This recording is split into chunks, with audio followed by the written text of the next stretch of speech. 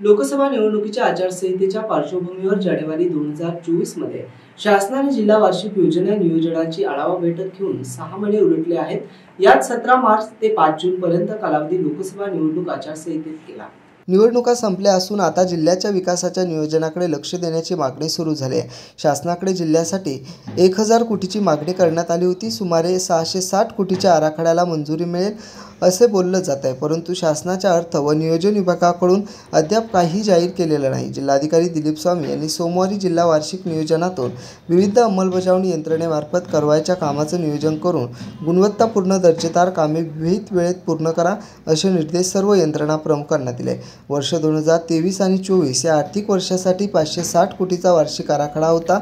त्याचे शंभर टक्के नियोजन झाल्याचा दावा प्रशासनाने केला. जिल्हा नियोजन समितीची बैठक नवीन पालकमंत्री घेणार की विद्यमान पालकमंत्री संदीपान भुमरे घेणार हे अद्याप स्पष्ट नाही.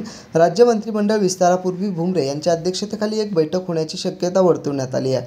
जूनच्या अखेरपर्यंत डी पी सीची बैठक होण्याची शक्यता आहे. तर दोन हजार पंचवीसपर्यंत वार्षिक नियोजनासाठी एक हजार कोटीची मागणी प्रशासनाने केली परंतु लोकसभा निवडणूक आचारसंहितेमुळे राज्य शासनाने घेतलेले आर्थिक धोरण जाहीर करता आले नाही.